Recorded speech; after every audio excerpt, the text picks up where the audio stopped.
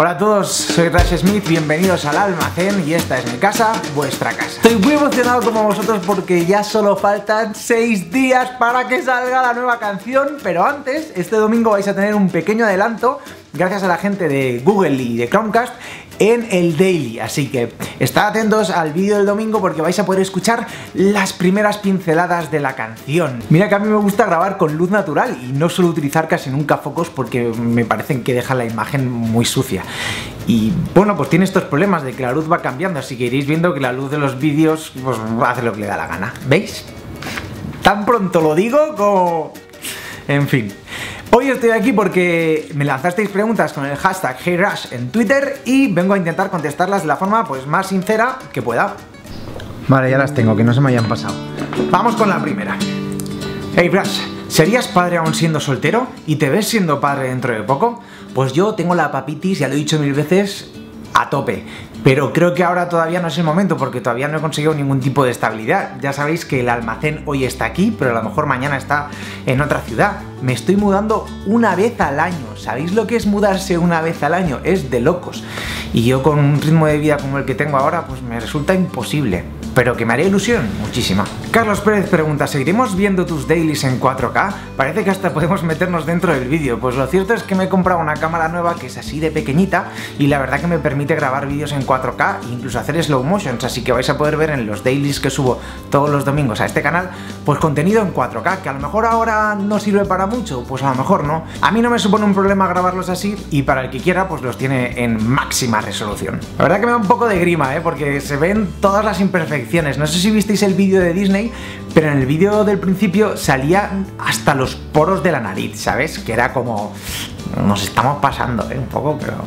Alfredo pregunta, ¿en un futuro lejano o cercano te crearás un canal de Pues mira, esta es una pregunta que muchas veces me he hecho, ¿no? Esta es una pregunta que siempre me he hecho, porque si un gamer puede dentro de su canal de videojuegos hacer vlogs diarios, ¿por qué no puedo hacer yo gameplay dentro de mi canal de blogs o de música o de lo que sea. Si fuera a subir 80 gameplays a la semana, pues me crearía otro, pero para subir un gameplay a la semana o dos, pues no creo que me rente ni me merezca la pena crearme un canal nuevo.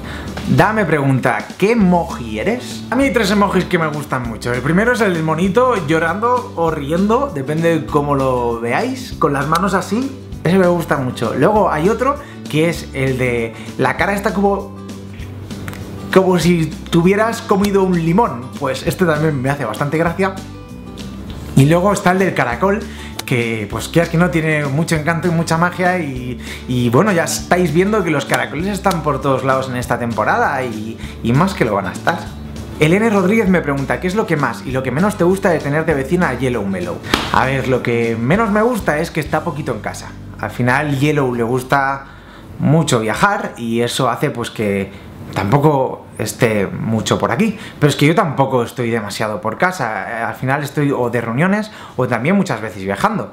Y quizás eso es lo más difícil, pero ¿qué ocurre? Que cuando coincidimos los dos y estamos los dos una temporada sin viajar, nos lo pasamos de coña, vamos al gimnasio juntos y al final pues es pues lo mismo que tener a Chus aquí al lado, ¿no?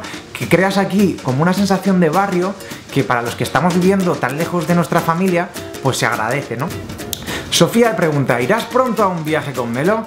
Pues con Melo no, pero con Forfas me voy dentro de un par de semanas a Nueva York y lo podréis ver en el canal.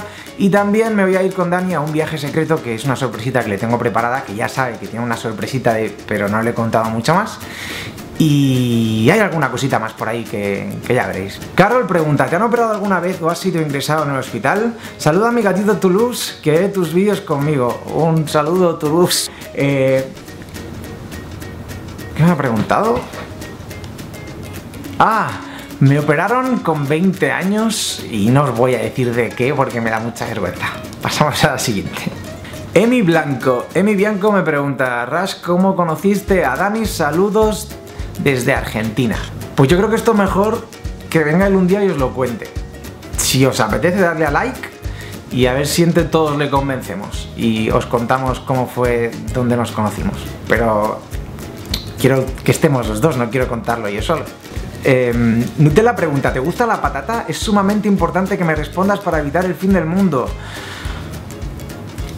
La patata como tal, pues no lo sé. A ver, a mí me gusta frita, cocida, pero... ¿Esto qué forma tiene? O sea, ¿qué es esto?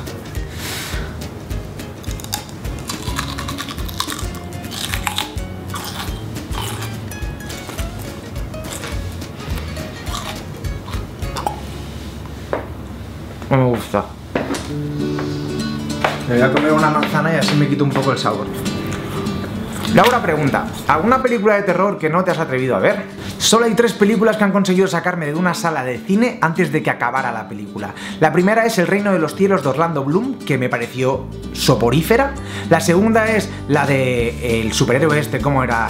Linterna Verde, que me pareció también y la tercera, no recuerdo cómo se titula, pero era de terror y me sacó por lo gore que era. Eh, estaba dirigida por algún músico de algún grupo de heavy metal y, era una maldita locura, era una especie de casa con una familia que cogía y hacía obras de arte con los cuerpos de la gente que se perdía en el bosque o algo así, no sé, era una mira. Era un despropósito y, no la acabé de ver. No, no la acabé de ver. Porque a mí me gustan mucho las películas de miedo, pero lo que a mí me gusta es que me asusten. Lo que no me gusta es eh, las de gore, ¿no? Tía Sol me dice, defina a los haters en una palabra. Gua pregunta, eh, ¿puedes mostrarnos un poco de tu nueva canción? Pues como he dicho al principio del vídeo, el próximo domingo vais a tener un adelanto. Así que nada, esperaos cuatro días y vais a poder ya saber un poquito, un poquito, un poquito a qué respirar. Laura pregunta, algo que nunca encontraríamos en tu mochila. Pues no vais a encontrar nunca tabaco, nunca. Ni ningún tipo de droga, ni ningún tipo de alcohol, ni ningún tipo de... Sí que es probable que podáis encontrar muchas guarradas en plan de chocolate, podéis encontrar galletas y mm, mierda de esta, pues toda la que queráis. Caramelos, o sea, pero, pero, pero soy, ese, es quizá mi mayor problema y es mi gran exceso. No tengo cosas así mucho más raras. Grecia pregunta, ¿por qué en tu foto de perfil de Twitter tienes un caracol en la nariz? Pues esta foto me la hizo Híbrido, que es un gran fotógrafo, os dejo su Instagram en la caja de descripción. Tuve la gran suerte de poder contar con él y trabajar con él en el proyecto de la vieja y aproveché y le propuse si le apetecía hacerme una nueva foto de perfil y jugamos con el caracol que es un elemento que, ya vais a ver en los proyectos que van a ir saliendo, pues que como que los une bastante, ¿no? Y que tiene todo un sentido. Quizá ahora no lo entendéis, pero estoy seguro que más adelante lo, lo comprenderéis.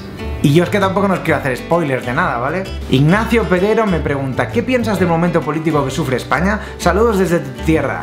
Pues un saludo para Barcelona, para Cataluña. ¿Y qué opino del momento político que estamos viendo ahora? Pues opino que es un momento súper emocionante en el que están habiendo un montón de cambios y estamos las cosas como estaban nada mejor que cambios. Creo que están haciendo una pantomima muy grande estos meses intentando negociar unos con otros. Creo que si va a haber alguna negociación va a ser en el último minuto, igual que ocurrió en Cataluña. En fin, vamos con la siguiente pregunta. ¿Cuánto tiempo esperas estar viviendo en el almacén? Y si es mucho, ¿qué cambiarías de él? Pregunta Carlos. Pues lo que os he contado antes, desde que tengo 25 años que me fui de casa de mis padres, he hecho una mudanza por año y eso es muy agotador. Eh, ahora ya hace un año que estoy en el almacén y creo que me voy a quedar otro año más pero no creo que aguante un tercero más. No por nada, sino porque también el espacio es pequeño y cada vez pues tengo más la sensación de que se me hace un poquito pequeño. Pero bueno, la verdad que no me puedo quejar, estoy muy contento. Logan pregunta, ¿piensas que este 2016 va a ser uno de los mejores años de tu carrera? Pues yo estoy convencido de que sí. Creo que los tres proyectos que he preparado os van a gustar mucho por orden de aparición, o sea, creo que el primero, que es la canción, os va a gustar mucho, pero creo que el segundo, que es el proyecto Mur, os va a encantar, y creo que el tercero no os lo podéis llegar ni imaginar. Estoy súper contento con los tres, y profesionalmente creo que también, o espero que también me ayuden, y si no me ayudan, pues tampoco me preocupa demasiado, porque al final lo he hecho sobre todo para mí, o sea, para que vosotros lo disfrutéis, pero sobre todo porque a mí me apetecía muchísimo hacerlos. Entonces yo me siento totalmente realizado. En fin, yo creo que las preguntas las dejamos aquí. Nos vemos el próximo jueves. No me echéis de menos, bueno, el jueves, el domingo, que tenemos el daily, vais a poder escuchar la canción. Gracias por todas vuestras preguntas y no me echéis de menos. Lo he dicho dos veces hoy, ¿eh?